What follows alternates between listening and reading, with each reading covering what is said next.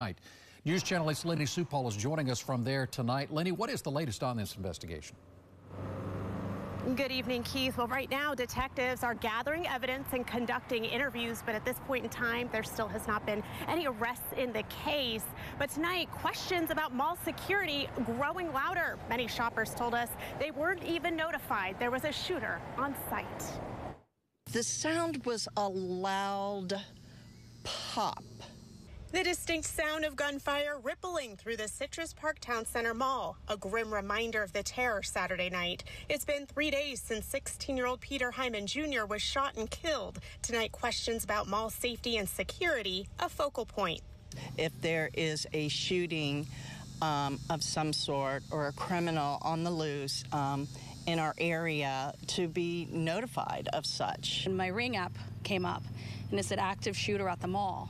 That alert sent Amanda Siftar hiding in the back of a store, clinging on to her children in fear. Tonight, she's disappointed. She says shoppers weren't told there was a dangerous shooter nearby. So we weren't sure if they were still at the mall, through the mall, outside the mall. We had no idea what was going on. Someone's life was taken at 16 is a baby. The Jefferson High School honor student passionate about engineering, always lighting up around family. But his light was dim Saturday night. His mother's pain now the source of this desperate plea. If there's any parents out there you know who might have done this, please speak out. And a donation page has been set up for the family. We have posted a link to that on our website. We also reached out to mall officials for more insight about their safety and security procedures moving forward. We are still waiting for a response, but Keith, I will say we have noticed a very significant increase in the number of patrols on site. Well, and you had the two people that were detained on Saturday night. Whatever happened to them?